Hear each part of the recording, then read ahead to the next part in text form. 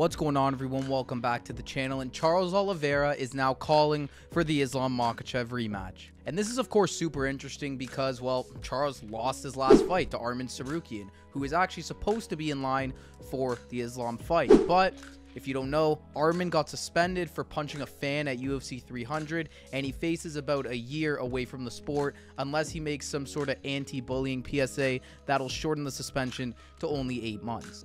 And as we know, Islam Makhachev usually loves fighting at that UFC Abu Dhabi card, that pay-per-view that goes on every year in October. And he obviously needs opponent for it. And if you take a look at the lightweight division, there aren't really a bunch of options. I mean, the Arman was the clear-cut answer, and if he's ruled out, there aren't many other guys left. Gaethje's coming off of that loss against Max, that brutal knockout. I don't think he wants to get back in there, and it also wouldn't make too much sense. Chandler, obviously, he's waiting for the McGregor fight. He'll wait till he's about 90 years old for that one, so he will not be fighting either. Dustin, of course, just lost, and then that really only leaves you with Charles Oliveira.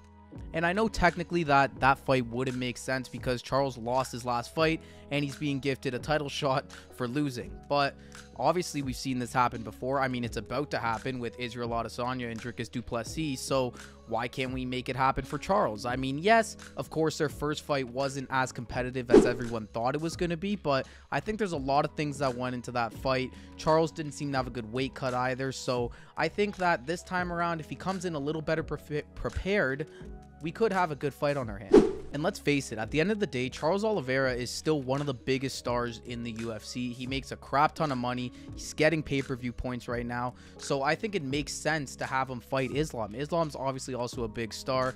And if you need him to fight on that Abu Dhabi card, Charles seems like the perfect opponent. Now, I don't know how interested Islam is in the Charles fight, considering he's offered Charles a chance to train with him in Dagestan and improve his wrestling, which would be great for Charles, by the way, and he should definitely do that. But if they're fighting, obviously that's not going to happen. I don't think Islam really wants this Charles fight, and not because he's scared, of course, he's already beat him, so he wouldn't have to worry about that, but because he wants fresh blood, he wants a new opponent, and at the end of the day, Charles is still a really dangerous guy. Like, yes, Islam dismantled him quickly in their first fight, but Charles is still such a dangerous opponent between his striking and his jiu-jitsu. He is really a big problem for a lot of guys in the division, and Justin Gaethje's even been quoted saying that Charles hits harder than anyone he's fought, and that guy's fought in pretty much everybody. So you could see why Islam wouldn't want to be fighting Charles next. I think the fight Islam really wants is the Leon Edwards fight at welterweight to try and become a double champ and try and become one of the best fights of the year. I mean, a fight between Leon and Islam would be a massive fight. It'd be kind of a pound for pound number one type thing, and I think it would be a great fight. But timelines are not going to line up for that. Leon's fighting in July against Belal. He's not going to turn around and fight Islam in like two, three months. That's just not going to happen at all. It, Leon barely fights once every five months, let alone two. So I don't see that happening. I think that it's and if we really do need Islam to fight on this Abu Dhabi card, it has to be against Charles Oliveira. Now, how do I necessarily see the rematch playing out?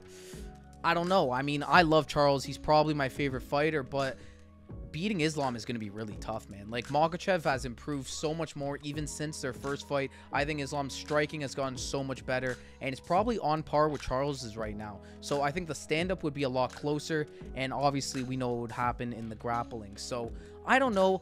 I don't love this fight for Charles. I think Charles at this point, he's become a champ already. He's accomplished his dreams. He should be going to chase money fights. He is probably either one of, or if not the most exciting fighter in the UFC, and he could have any big fight that he wants. He should be chasing those, trying to make as much money as possible, and avoiding fights like this that are going to hurt your legacy and hurt your chances at getting more bigger fights in the future. But if this fight were to happen, I would love for it to happen. I mean, Charles versus Islam, the buildup in that first fight was so awesome. There was so much anticipation. Everybody was wondering who was going to win, and we got our answer, and it was kind of anticlimactic. So I hope this time, if they fight again, that it'll be a little bit longer. We'll see Charles do a little bit more damage to Islam and have overall a more close and competitive fight.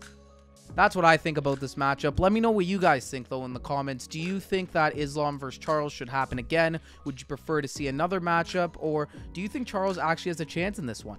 Let me know down below. I want to hear what you guys have to say. Thank you all for watching this video, and check out more just like this one if you enjoyed. I'll see you all in the next one.